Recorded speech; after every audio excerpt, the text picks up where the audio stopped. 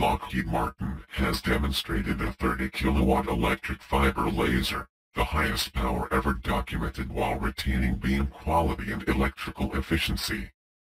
The internally funded research and development program culminated in this demonstration, which was achieved by combining many fiber lasers into a single, near-perfect quality beam of light while using approximately 50% less electricity than alternative solid-state laser technologies.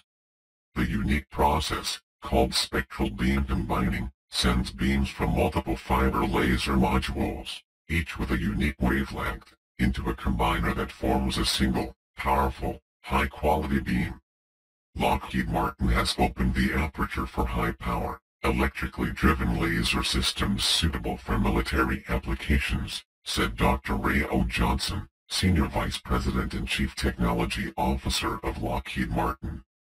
Advancements in available laser components, along with the maturity and quality of our innovative beam combining technology, support our goal of providing lightweight and rugged laser weapon systems for use on military platforms such as aircraft, helicopters, ships and trucks.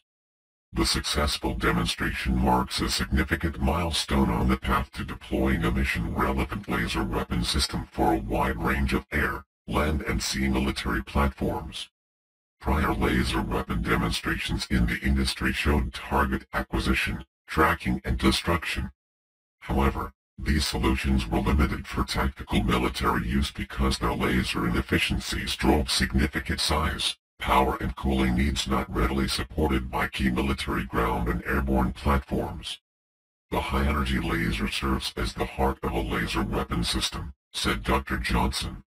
This 30 kilowatt milestone shows our commitment to producing the high beam quality and high power needed to address a variety of military speed of light defensive operations. Lockheed Martin has specialized in directed energy laser weapon system development for the past 30 years and purchased Acculight in 2008 to further strengthen its offerings at every level, from expert advice and pioneering research to solid prototyping and flexible manufacturing.